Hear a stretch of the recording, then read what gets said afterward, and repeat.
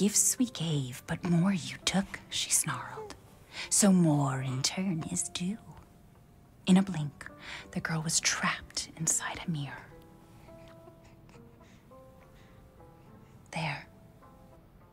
She's asleep. What is with the creepy story? She's only six months old. Woman at the store said it was traditional. A local tale. Besides, Rose doesn't seem to mind. Because she doesn't understand it. Thank God.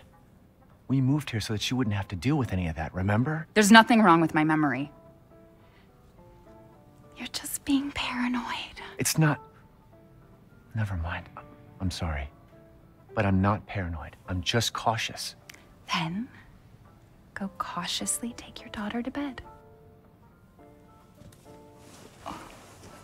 I'll finish dinner.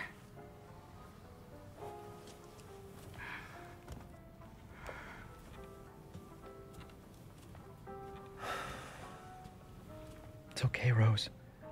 Your mother doesn't want to remember it. I can't blame her.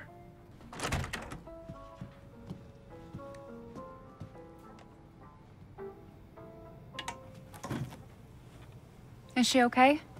Sleeping like a, well, like a baby. Hmm, that smells good. What's that? Oh, hands off, mister. It's ciorbă de legume.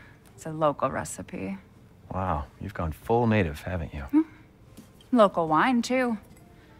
But if you're gonna keep sulking all evening, maybe you shouldn't have any. You really have to stop worrying. It's just finding you in Louisiana, the pregnancy, Chris moving us here, military training, it all happened so fast, you know? Well, at least we're all together. You, me, Rose. Now, everything's gonna be Seriously? Think we can just forget about what happened in Louisiana? It happened so long ago. I just, I don't understand why you are so. Mia, get down! Mia!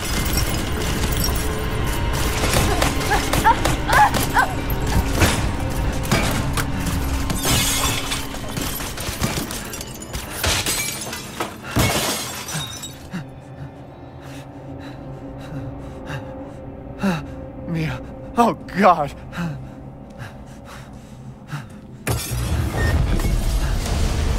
Chris? What the hell? Sorry, Ethan. No! What? Why?